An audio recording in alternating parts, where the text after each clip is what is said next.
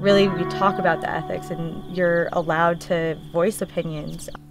I liked that it was wild sustenance and not like hunting 101. Yeah, I'm just, I'm trying to learn how to hunt. There's a bunch of different reasons why I want to learn how to hunt. There's ethical and environmental, um, and I guess spiritual reasons too.